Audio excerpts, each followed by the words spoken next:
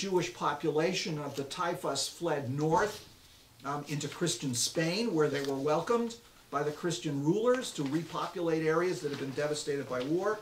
But a number of them also moved elsewhere in the Muslim Empire.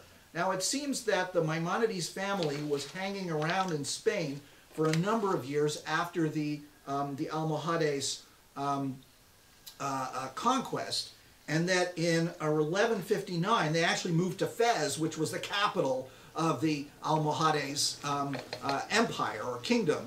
Uh, if you take a look, map 3 uh, gives you an idea of the size of their, um, their kingdom. Now, why they did that, of course, is a difficult question, but one of the things that we definitely know, uh, this has been an argument, by the way, of scholars, but Kraemer definitely um, uh, proves it, is, is that like a lot of other Jews, they, um, they converted to Islam, but practiced their Judaism secretly. Um, and they were living in Fez for a number of years, posing as Muslims. This was not unusual uh, for Jews. And in fact, his own father had written a, uh, a treatise about this, why it was permissible to do it. And one of the earliest things that Maimonides himself ever wrote was something, a letter of consolation to those Jews who had done this uh, and what they should do and why it was permissible because some Jewish authorities felt if they did this, they were, um, they were traitors to the Jewish people and they should have died. They should have martyred themselves instead of uh, converting to Islam. But undoubtedly hundreds of Jews did, including the Maimonides family. But eventually they did what Maimonides himself people should do. You get the heck out. And they moved in 1165 by ship. There's a letter of his describing the ship voyage, how terrible it was. And they end up in the land of Israel and they land in Akko, um, Acre, which was under Crusader rule at the time. Um, they stay there for a number of years. They visit Jerusalem. They visit Hebron. There's a possibility they visited other places in the region.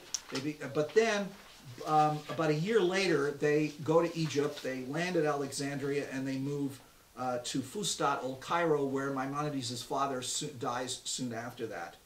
Um, in 1168, uh, he finishes, after when he's 30 years old, something he started when he was 23, which was his commentary to the Mishnah, the entire Mishnah, which he does in Arabic.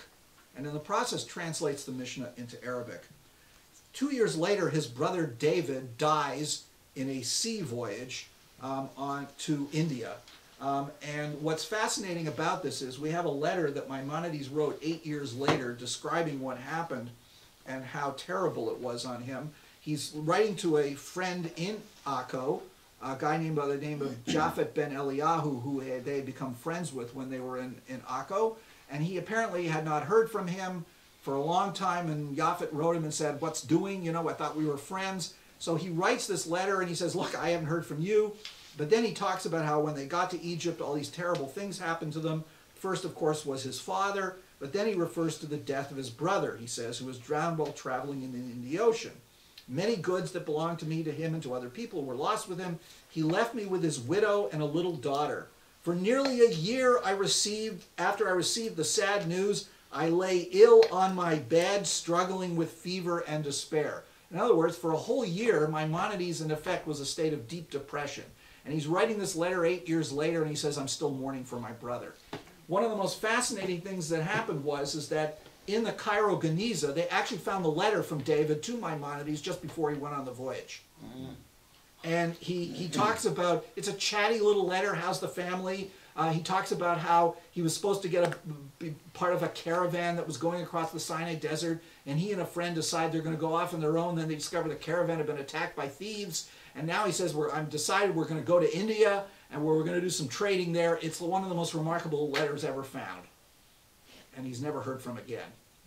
Because the Jews were heavily involved in the India trade. Um, special, and the Maimonides family, not unusual for scholars, was probably trading primarily in things like spices and jewels, because they're easy to carry.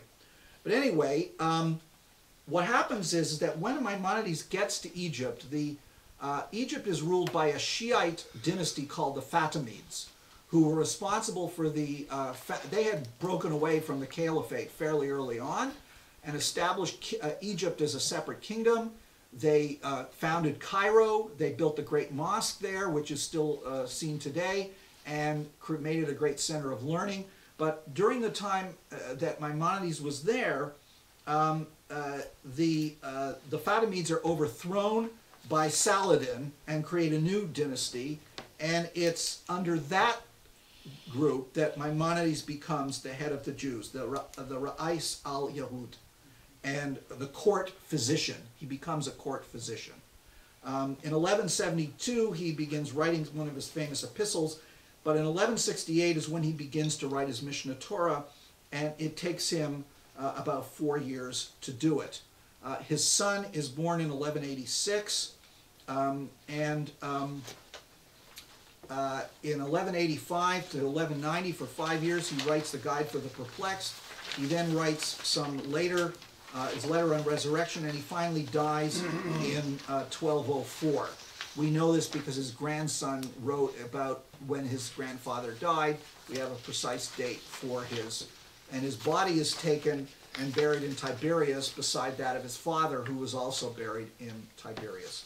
Um, what we're going to um, do is we're going to stop here. Um, I'm going to just find out uh, if there's any questions. Um, we'll talk a little bit more about some of his um, uh, some of his uh, biography as we go along. Also, a little bit about what happened to his work after his death, because there were a number of controversies of it. But now I'm going to open up to any final questions before we conclude.